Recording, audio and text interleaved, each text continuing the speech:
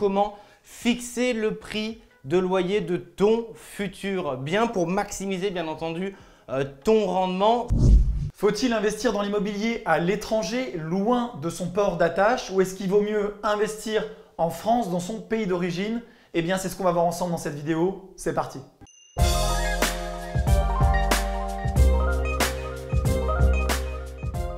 Salut à toi très cher entrepreneur immobilier, j'espère que tu vas bien. Je m'appelle Manuel Ravier, si tu ne me connais pas encore, je suis investisseur immobilier avec plus de 60 lots actuellement détenus et loués et je suis également chef d'entreprise puisque je suis cofondateur de la société Investissement Locatif, une société d'une centaine de collaborateurs qui te permet eh d'investir dans l'immobilier clé en main. Investissement Locatif a été fondé en 2012 avec mon associé Michael Zonta. À l'époque, on était deux sur un coin de bureau qui nous était prêté par l'école l'EDEC Business School puisqu'on était incubé par cette école.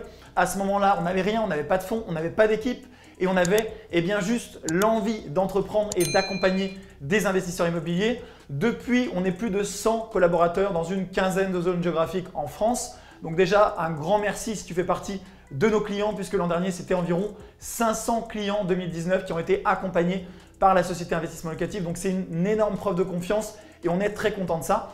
Et concrètement, on peut t'aider à investir. Si tu cherches à investir dans un studio ou jusqu'à un immeuble entier, on peut eh euh, prendre en charge toutes les démarches de ton projet pour en faire un projet rentable. Concrètement, on va t'accompagner sur la recherche du bien grâce à nos chasseurs professionnels qui sont sur le terrain 100% euh, de leur temps puisqu'ils sont à temps plein. C'est leur métier et ils vont t'aider à dénicher les meilleures affaires du marché, des biens qui sont euh, le plus souvent off-market, c'est-à-dire qui ne sont même pas diffusés sur le marché grâce à leur réseau professionnels. Ils vont t'aider à négocier l'achat. Ils vont t'accompagner ou te représenter chez le notaire si c'est ton souhait. À la suite de ça, eh bien, nos architectes qui sont très talentueux et vont prendre le relais. Concrètement, on va gérer euh, la réalisation des plans. Donc, on va te proposer les meilleurs plans possibles et tu vas les valider pour optimiser eh les différents espaces de vie de ton bien. On va ensuite rédiger un cahier des charges pour les travaux, pour les entreprises de travaux. À la suite de ça, on va suivre eh les travaux pour ton compte avec des rapports de chantier réguliers. On va vérifier que tout se passe bien sur le chantier, que le chantier avance bien, qu'il n'y a pas de malfaçon. À la suite de ça, on va meubler et décorer le bien ou les biens que tu achètes avec nous pour créer l'effet coup de cœur. Et enfin, eh bien, tu vas pouvoir les mettre en location. Et là, on peut également prendre en charge la location et la gestion. Investissement locatif a des bureaux physiques, donc on a pignon sur rue dans plusieurs villes en France. On a encore une fois une très grosse équipe qui est formée à nos méthodes et c'est ce qui nous permet eh bien euh, d'accompagner autant de clients vers le succès et vers des investissements locatifs rentables. Alors dans cette vidéo, on va voir si investir dans l'immobilier à l'étranger peut être un bon plan ou si c'est une fausse bonne idée. On va parler comme d'habitude des avantages et des inconvénients et on va parler sans langue de bois puisque euh, personnellement, je connais de nombreux investisseurs qui ont investi à l'étranger, certains avec succès, certains c'est plus compliqué et c'est ce qu'on va voir ensemble dans cette vidéo. Alors le premier point en matière d'investissement immobilier, c'est qu'il faut comprendre que l'enrichissement, le retour sur investissement est euh, fortement lié à l'effet de levier du crédit. Tu vas comprendre pourquoi je te parle de ça, mais concrètement, imaginons euh, que tu as euh, une opération à 100 000 euros, que tu finances 25 000 euros par l'apport et que tu empruntes le reste du montant de l'investissement, c'est-à-dire 75 000 euros. Ça veut dire concrètement que tu appliques un levier x4 puisque tu mobilises 25 000 euros et tu investis 100 000 euros puisque c'est la valeur du bien et c'est ce bien-là qui va avoir lui-même un rendement locatif, par exemple, eh bien de 6%. Alors, euh, je te pose la question, sans rentrer dans tous les détails des rendements locatifs bruts, des rendements locatifs nets. Donc, quel est le réel rendement financier de tes 25 000 euh, euros investis? Tu vas comprendre pourquoi je te parle de ça dans cette vidéo spécifiquement.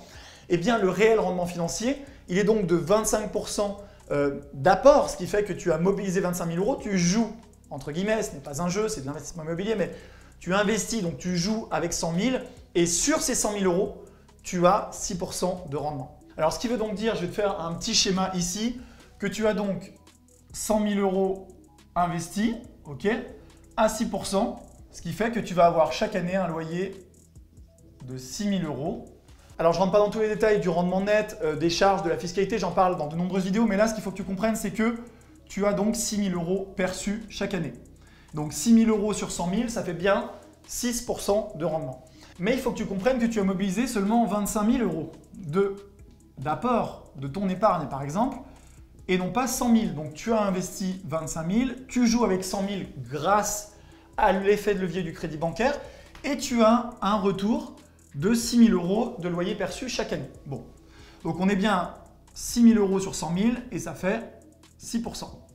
Maintenant, si on réfléchit autrement et qu'on se dit, ok, si je n'avais pas eu l'effet de levier et que j'avais eu un rendement de 6%, c'est-à-dire si la banque m'avait dit, Emmanuel, tu ne peux pas emprunter parce que je ne maîtrise pas euh, le marché sur lequel tu vas emprunter et notamment, tu comprends où je veux en venir, euh, je ne te suis pas pour investir dans ce pays parce que malheureusement, euh, je ne prête que pour des biens immobiliers en France et donc tu n'avais pas pu utiliser cet effet de levier. Donc tu ne joues pas avec 100 000, mais tu joues avec 25 000. Ok?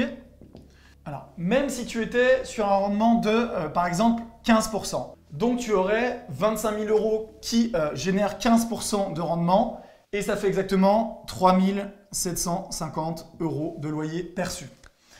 On comprend bien donc que euh, même avec un, rendement locatif de 15%, sans l'effet de levier, eh bien je suis à environ, je dirais 55-60% du montant. 60% du montant perçu, ce qui fait que j'ai un rendement financier sur mon argent investi qui est 40% inférieur avec euh, ce rendement-là. Alors maintenant, on va voir euh, quel rendement eh bien, il me faudrait pour avoir le même rendement financier sur mon argent investi, donc sans effet de levier.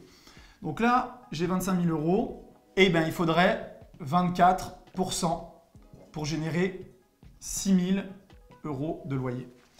Qu'est-ce que ça veut dire en fait? Ça veut dire que tout simplement, sans l'effet de levier du crédit, eh bien, un investissement avec un rendement de 24% est équivalent un investissement avec un rendement de 6%. Et je suis sur un effet de levier, tu l'as vu ici, un x4 avec 25% d'apport. En sachant que euh, moins tu mets d'apport, plus le rendement financier est élevé. Donc si tu mets 10% d'apport par exemple, tu as un levier x 10. Donc ce que je veux te faire comprendre, ça veut dire que euh, tu vas être obligé d'aller dans des zones géographiques où potentiellement tu as un risque très élevé, un risque sur le droit de propriété, un risque sur le remplissage, un risque d'usure du bien, parce que quand on est en bord de mer par exemple, dans certains endroits, on sait les bâtiments se détériorent beaucoup plus vite, surtout que euh, dans de nombreux pays, on n'a pas du tout les normes de construction françaises, donc les bâtiments vieillissent euh, très différemment. Et donc tu vas aller chercher des rendements qui sont très élevés pour au final avoir, eh bien, puisque la banque refusera de te prêter ici, hein, tu l'as compris, hein, c'est parce qu'ici on peut emprunter parce qu'on est en France et qu'ici on ne peut pas emprunter. Et donc tu vas avoir un rendement qui va être équivalent à un rendement de 6% en France. J'ai envie de te dire, 6% en France, c'est un très bon rendement dans certaines grandes villes françaises, mais tu peux aller chercher euh, nettement plus en rendement quand tu, euh, si tu veux augmenter un petit peu ton risque, aller dans des zones qui sont peut-être moins chères à l'achat. Donc avant de se dire, bah, premier constat, avant de se dire je vais aller investir au bout du monde parce que euh, le rendement me fait rêver, je suis à 25% de rendement, mais la banque ne me prête pas, donc je dois être 100% cash sur mes fonds propres, eh bien avant de dire ça, avec tout ce que ça implique, on va en parler après. Est-ce que c'est intéressant? Bah, Je le compare à la France et c'est la question que moi je me suis posée parce que j'ai la chance euh, d'avoir de l'argent disponible et je me suis dit, je suis comme tout le monde, hein, on regarde, on regarde des, photos qui font rêver, des belles villas, euh, des beaux appartements et on se dit, waouh, la zone me fait rêver, j'adorerais y passer des vacances. La réalité, c'est est-ce que je vais y aller tous les ans? Peut-être que c'est ton cas, peut-être que tu vas toujours en vacances au même endroit. Personnellement, je préfère découvrir différentes zones dans le monde. Et donc après, je me dis d'un point de vue purement placement, purement financier, est-ce que c'est rentable? Et là, on m'annonce des rendements magnifiques, 15%, 20%, 25%. En bon investisseur, ben, je suis comme toi, euh, j'ai envie, ça, attire le challenge. Je me dis, waouh, si je pouvais avoir ces rendements-là. Et ensuite, eh bien, tu vas regarder les petites lignes et tu vas voir que non, tu ne peux pas emprunter. Après, tu peux voir aussi beaucoup de choses euh, autres, on va en parler dans la vidéo, mais non, tu ne peux pas emprunter, il faut investir en cash. Donc, je perds mon effet de levier du crédit. Et donc, en réalité, ce rendement qui était euh, magnifique à 15%, eh bien, il n'est pas du tout compétitif par rapport à un placement en France qui va être plus sécurisé avec tous les autres avantages eh bien, que ça peut impliquer. Alors maintenant, est-ce que ça veut dire que euh, c'est une, erreur d'investir à l'étranger? Est-ce que ça veut dire que ce n'est pas stratégique? Alors, investir à l'étranger, ça peut être très intéressant. Pourquoi? Parce que, euh, et encore plus en période d'incertitude économique, il peut y avoir un intérêt à être engagé sur différentes devises. Et c'est notamment le cas si tu as euh, une grosse surface financière, des gros moyens, de l'épargne de manière très importante, eh bien tu peux te dire j'investis en France et au bout d'un moment tu peux dire eh bien, je vais diversifier. Je vais peut-être investir un petit peu dans la zone en dollars pour toucher des loyers en dollars. Je vais investir euh, pourquoi pas en Chine pour toucher euh, des loyers bah, dans d'autres devises. Je vais investir voilà et tu vas diversifier tes placements et c'est notamment cette stratégie que les gens qui ont beaucoup d'argent vont appliquer, alors que ce soit dans l'investissement immobilier ou pas. Ils vont également détenir des comptes dans des banques partout dans le monde pour que si une monnaie tombe, eh bien, euh, bénéficier d'une autre monnaie. D'ailleurs, c'est une anecdote que je vais te raconter, mais euh, à l'époque, euh, je fréquentais une fille qui était argentine et le papa était un entrepreneur.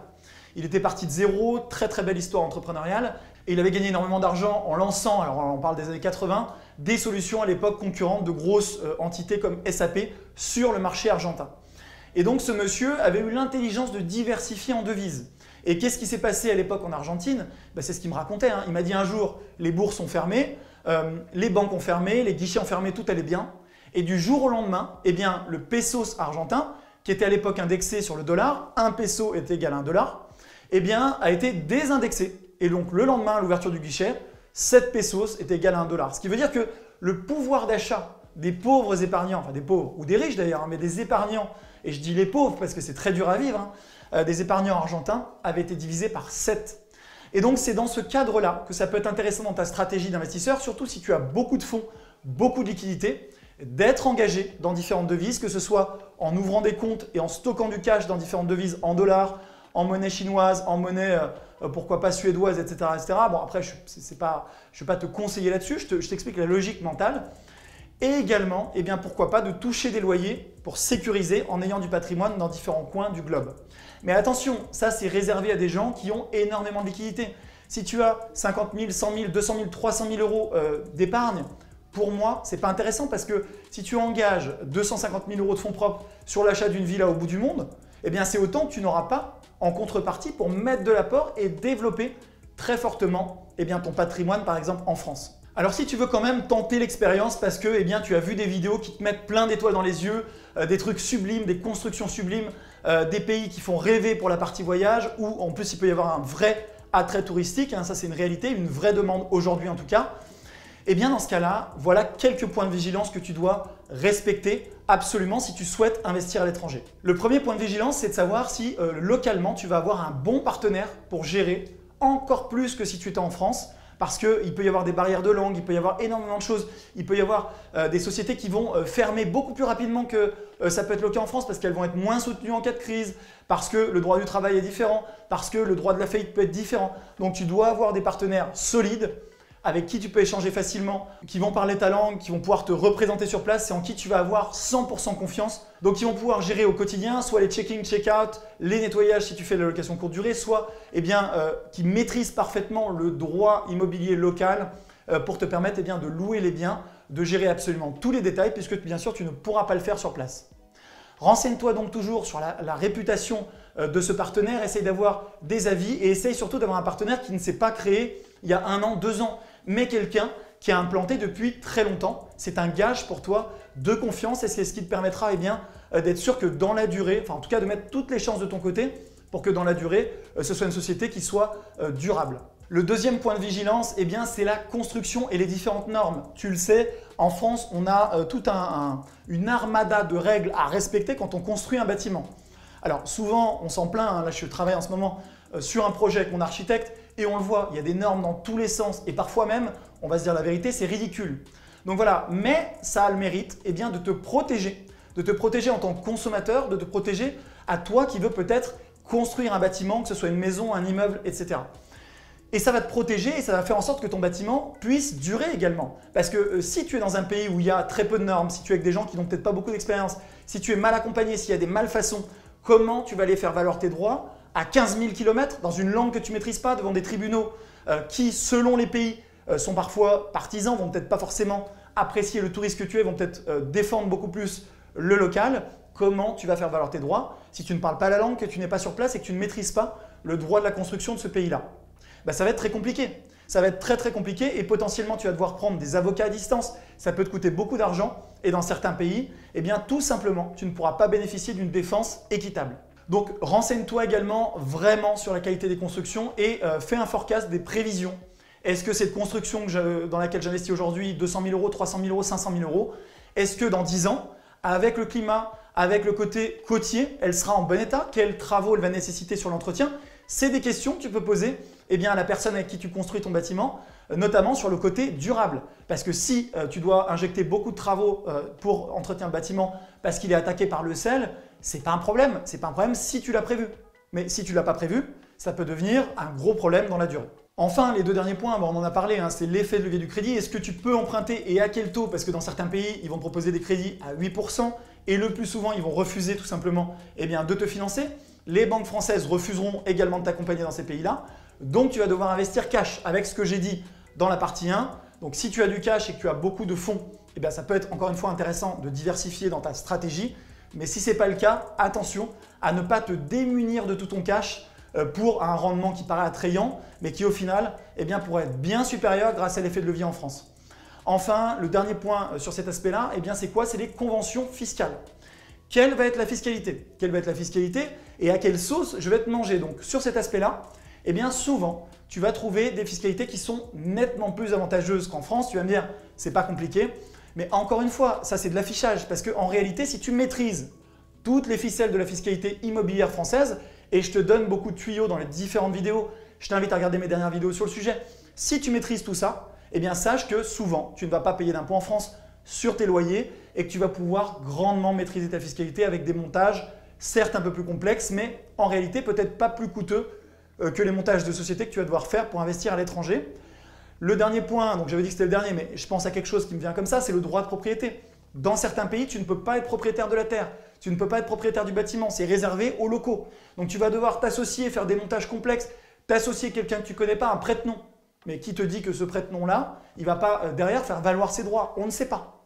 Donc encore une fois, ça ne veut pas dire qu'il ne faut pas le faire. Ça veut dire fais attention où tu mets les pieds, c'est de bien comprendre le système du droit de propriété, comment tu es protégé. Parce que nous qui sommes euh, français, pour nous, euh, on se plaint souvent hein, des, droits de mutation, du système des notaires, en tout cas beaucoup de gens s'en plaignent, mais en réalité, il est très, très protecteur pour les acquéreurs. C'est un, système qui est magnifique pour la protection du droit de propriété. Et malheureusement, pour de nombreux pays, souvent, ils n'ont pas du tout euh, ce niveau de protection. Et les étrangers qui investissent là-bas en croyant que ça va être comme en France, peuvent avoir de très mauvaises surprises en se faisant récupérer tout simplement le bâtiment. Donc renseigne-toi vraiment à l'avance sur le point droit de propriété, qualité de la construction, est-ce qu'elle va être durable, quelles sont les normes, comment elle va vieillir, comment ça va être géré, quelle va être la fiscalité. Et avec tous ces aspects-là, eh bien, tu prends ta décision et tu vois si oui ou non, sans euh, fonctionner uniquement à l'émotionnel en voyant des belles vidéos, des belles photos, euh, des maisons, des bâtiments qui font rêver, euh, voilà, tu vas décider si oui, c'est un bon ou un mauvais investissement pour toi dans ta stratégie de patrimoine aujourd'hui. Et, et, encore une fois, ça t'empêche pas de partir en vacances, de louer cette villa qui te fait rêver pour une semaine, deux semaines, même si ça te coûtait 3000 euros les deux semaines, ça sera toujours nettement moins cher que ce que va te coûter un très mauvais investissement ou un mauvais placement ou que ce que va te coûter euh, d'être bloqué pour tes investissements en France parce que tu as mis tout ton cash là-bas parce que eh bien, tu avais des étoiles dans les yeux. Alors enfin, la dernière chose, c'est les revenus que tu vas percevoir à l'étranger. Parfois, je vois sur les forums, je vois sur les groupes Facebook des gens qui disent, bah voilà, c'est simple, tu investis dans un bien à l'étranger, tu investis, même parfois, je vois des trucs euh, euh, absolument hors sol, c'est-à-dire que les mecs disent, bah tu mets une partie en cash, comme ça, ça te permet d'écouler, donc des gens qui font des choses, bon, sans parler de ça, la très mauvaise idée qu'ont certains investisseurs, c'est de se dire, euh, en pensant qu'ils vont créer euh, des comptes offshore, je vais pouvoir économiser de l'impôt en fraudant le fisc.